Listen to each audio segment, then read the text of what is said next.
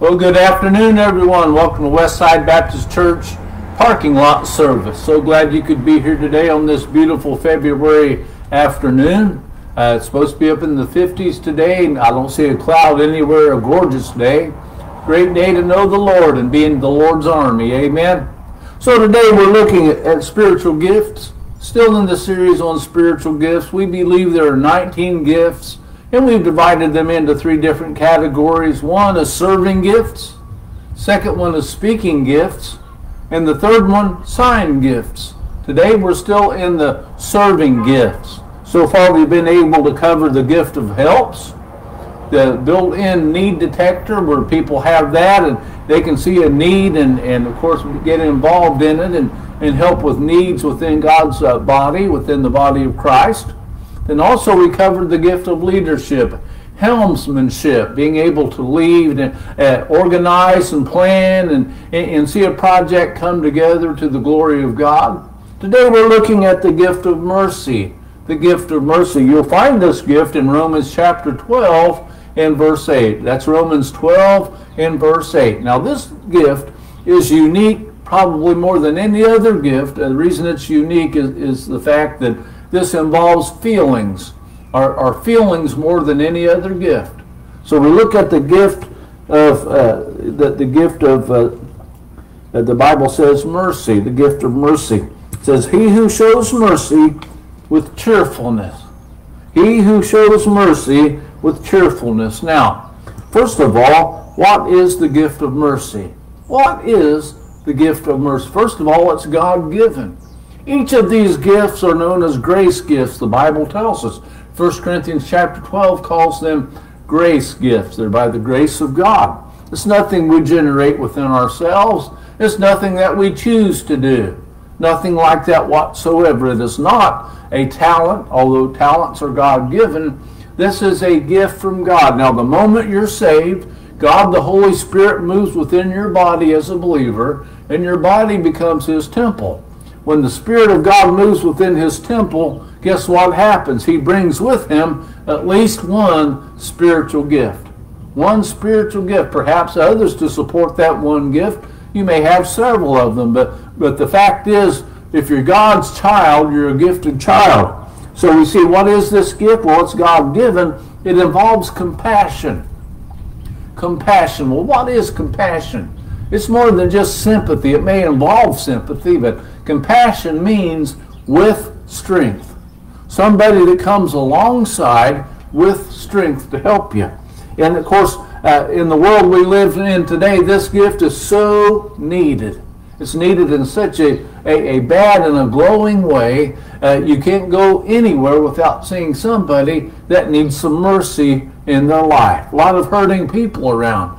Now, the people with the gift of mercy are going to be colorblind. What do I mean by that? No racial barriers, no economic barriers, no educational barriers. You see people that are hurting and they want to help people that are hurting. And the thing about this gift, people with the gift of mercy can help other people with cheerfulness. They don't look at it as a drudgery or something that they're com- uh, just compelled to do out of out of uh, duty or necessity. It is something they get a great deal of joy from. Is ministering to others with the gift of mercy in a way that they get joy. They can do it cheerfully.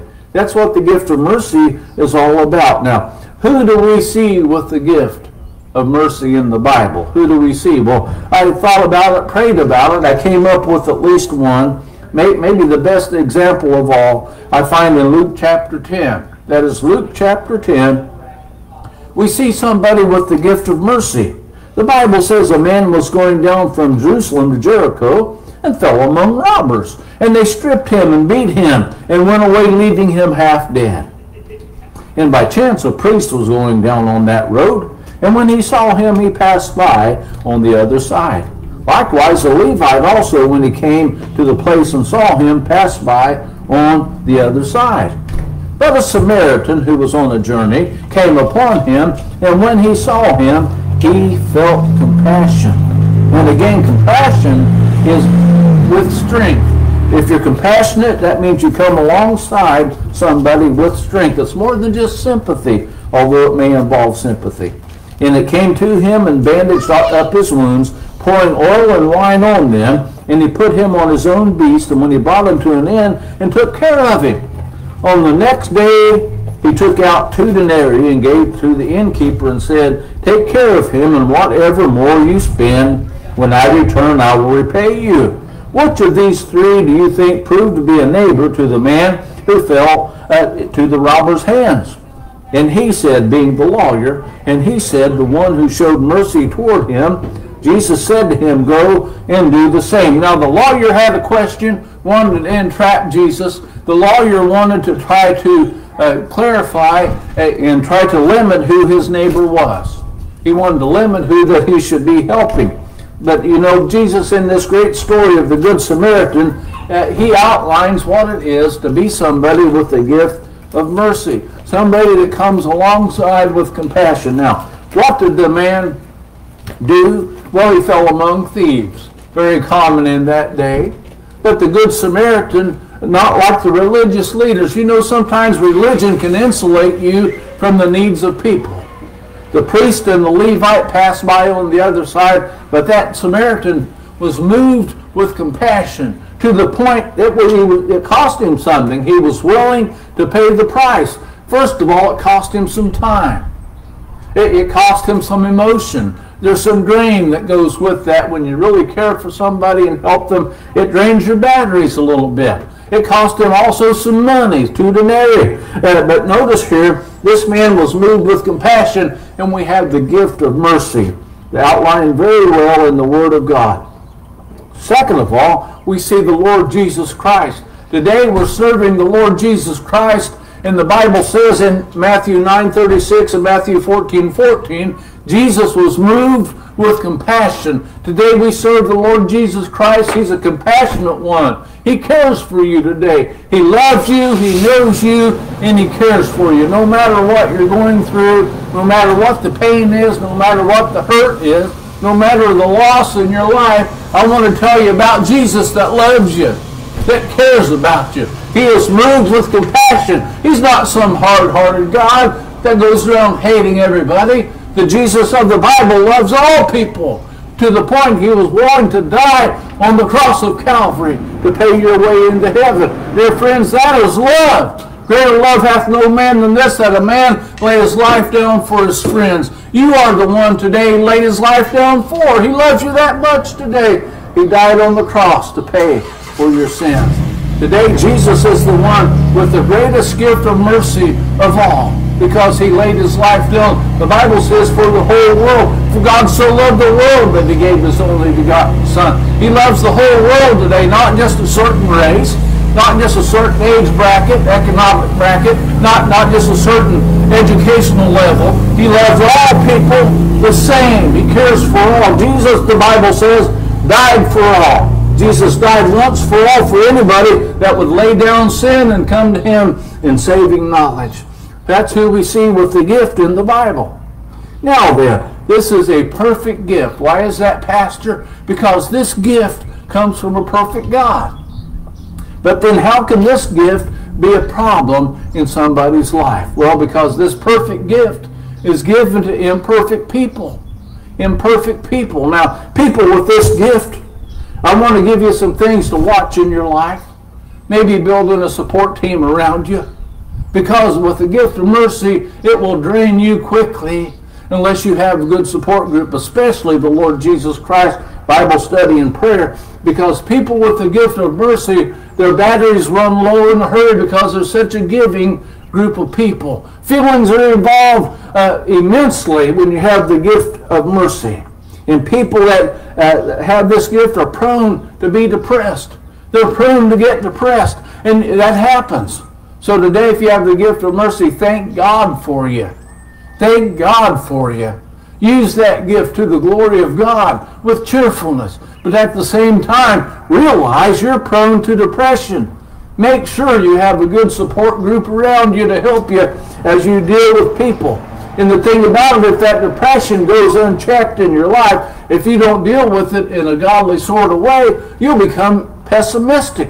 Next thing you know, you'll be negative you, you, you'll be uh, criticizing others. And that's what you run into in your life if you don't deal with that uh, depression. Now, the thing is, people with the gift of mercy, they have a built in hurt detector.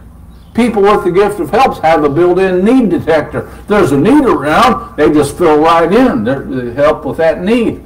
People with the gift of mercy have a built-in hurt detector. You come upon a person, how you doing? Well, I'm doing fine. That's good enough for most people.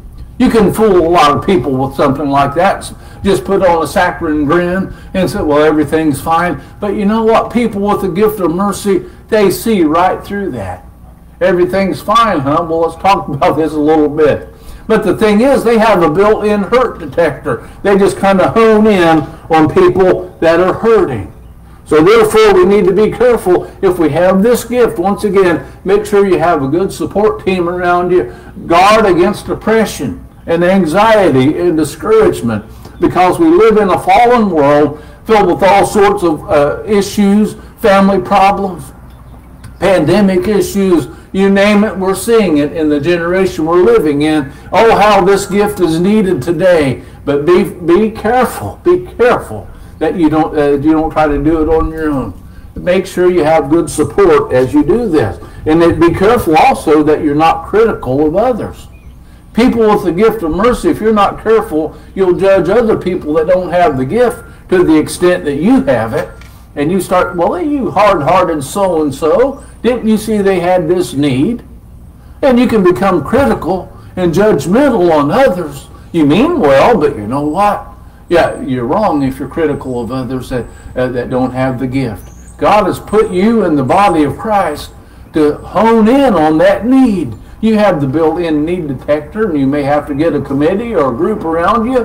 Don't have to be a, have a title, you know. But the thing is, uh, you need to have others around you to work with you on this. So how can it be a problem? A perfect gift given to imperfect people. Now, how do we see this modern application?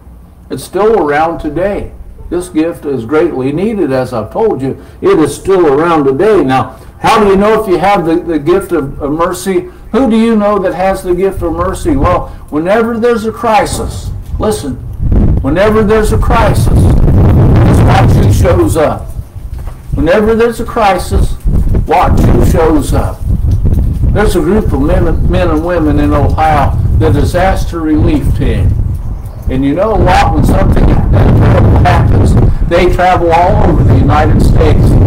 Something like that happens, you know what? I can rest assured. I'm going to turn this so the wind isn't as bad. Uh, you can rest assured they're on the scene and they're working people with the gift of mercy. They want to help people. It may, may include sawing up a tree, bringing some fresh water, so, some toiletry items, things like that. But people show up. Just watch when there's a disaster, people with the gift of mercy will show up and be involved in helping with those sorts of things. Now, nurses, many of them, most of them, I personally believe, have a gift of mercy. One old pastor I, I went to visit in the hospital one time he said, My nurse doesn't have the gift of mercy. she has the head knowledge. She can do this, she can do that, but you know what? She's not getting any joy from it, and I'm not either. but he, uh, he was struggling with that, you see. Uh, he had, uh, praise God that when you go to the hospital, whatever, you, you get a you, you, get a nurse with the gift of mercy, and you can certainly feel it if they have it, and you'll know it if they don't have it as well. And dealing with many, many people, many people through and working through bereavement in their life, going through the uh, the stages of grief, and working with people up close and personal when they have a loved one that's uh, not far from the kingdom of heaven. They don't have long to be around. There's a gifted group of people out there called hospice people. Hospice people. And the ones that I've known personally uh, have the gift of mercy. They're just able to come in and support uh, the quality of life of that individual until God calls them home. They're able to make that person comfortable. You'll see them usually with a smile on their face, and they're serving and giving and helping the family. They don't just minister to the individual, they're ministering to the entire family. Thank God for people today like that that have the gift of mercy. It's always been needed. Here it is in the early church And how much more today in the world that we're living in. So many in the world today have some open spots around the dinner table. People used to sit there, but COVID got them, or complications from it got them. You know, how they need people with the gift of mercy to step in. Today, with the family under assault, I mean, the traditional family is uh, lined out in the Bible. It's under fire. We know that. Uh, it's obvious today. Families falling apart, marriages falling apart, people needing ministered to, people with the gift of mercy. Oh, how you're needed today. Use that gift. Some today have the gift, but perhaps they got depressed and they fell out. Maybe anxiety took over their life and they need just to be ministered to themselves. Don't run from people that are trying to help you, people that love you, that want to reach out to you with arms of love, with scripture and with prayer. Maybe perhaps with music, whatever it takes, because God needs you back in His army. He needs you back in the local church doing what God's called you to do. That gift of mercy. People need it today. The greatest need today, however, is the Lord Jesus Christ. And maybe you've heard the, the message today and you realize, I'm not a Christian. If I was to die right now, I am not certain about where I would spend eternity. You know, the Bible lays it out so clearly that even a child can understand it. You see, you can know for a fact, the Bible says in 1 John, that you can know that you're saved. You can know it without any doubt but with great confidence. If you don't have that today, I'm going to lead you in a simple sinner's prayer. And I want you to follow me in this prayer. Again, saying a few words, reciting words won't save you, but they connect you to the God that will save you if you're sincere about it. So bow with me at this time. Repeat after me.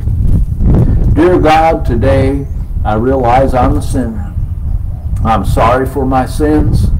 And I believe that Jesus died on the cross for my sins, that he was buried, on the third day he arose. And right now, Father, I want to make a commitment to you. I want to turn from sin and turn to Jesus. Please send Jesus to come and live in my life, to be my Lord, to be my Savior. I'll do my best to follow him all the days of my life. Come into my life, Lord Jesus. Save my soul. Be my Lord and Savior. Come in.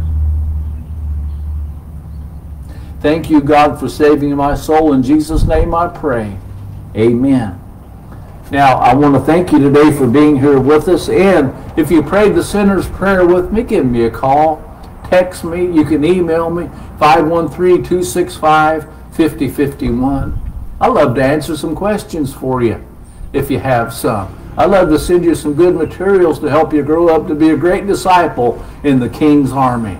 So please contact me. You guys have a great day. Look forward to next week as we continue our sermon series on spiritual gifts. God bless.